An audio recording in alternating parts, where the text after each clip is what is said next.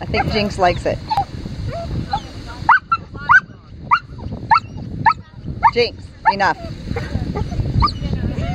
Wait, it's your turn next.